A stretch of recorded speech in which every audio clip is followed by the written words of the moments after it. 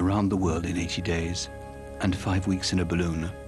Both as books and films, these fabulous stories have inspired generations of adventurers to try and transform the impossible dream of Jules Verne into reality. This is the story of one of the greatest adventurers of them all, round the world non-stop balloonist Bertrand Piccard.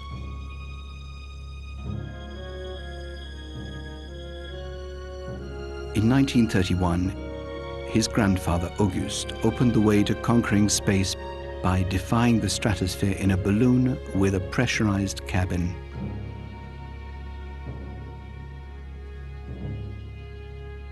In 1960, his father, Jacques, fulfilled another of Jules Verne's dreams by taking a bathyscaphe designed by Auguste Piccard 11,000 meters beneath the sea to the bottom of the Marianas Trench, the deepest point on the globe.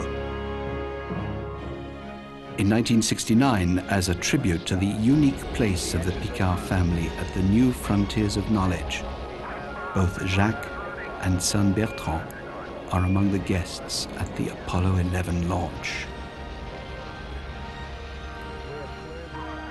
Bertrand Piccard never forgot the glow in the eyes of Buzz Aldrin and Neil Armstrong, a light kindled by discovery.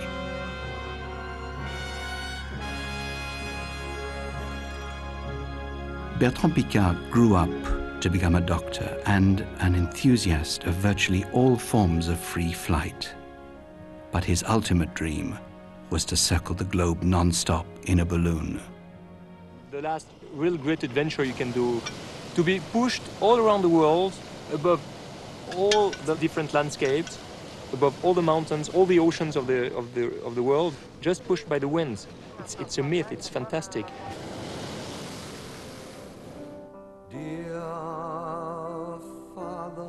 A feat many had attempted over the past 20 years, only to experience spectacular setbacks.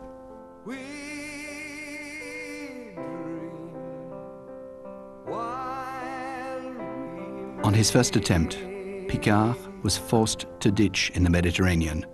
Two years of preparation reduced to nothing.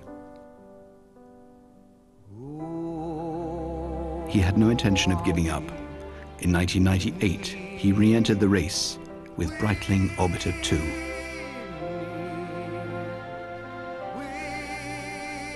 And failed again. Yet, no one had ever come so close to success. Piccard smashed every record for distance. If Richard Branson is taking off first and he succeeds, we will take off anyway to try also to make a flight around the world. I think this has to be. Breitling agreed to fund one last attempt. Piccard developed a controversial strategy and defended it with conviction. He even obtained clearance from China to fly in its airspace. Something never done before.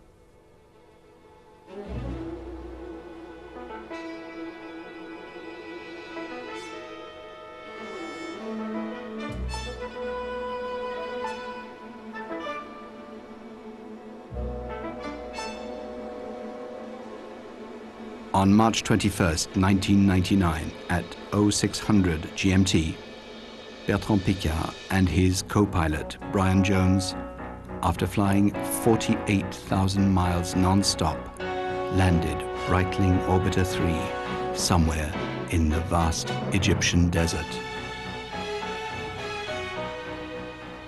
The first non-stop flight around the world in a balloon had taken exactly 20 days. Bertrand Piccard's name joined those of his grandfather and father as one of history's pioneers. Astronaut Buzz Aldrin paid tribute to the little boy now become a man with that special light in his eyes. Five years of dedicated effort had paid off. Bertrand Piccard had achieved what many had thought impossible, propelled not only by the winds, but by his own exceptional courage and determination. The flight of Breitling Orbiter 3 set impressive new records for altitude, distance, and duration.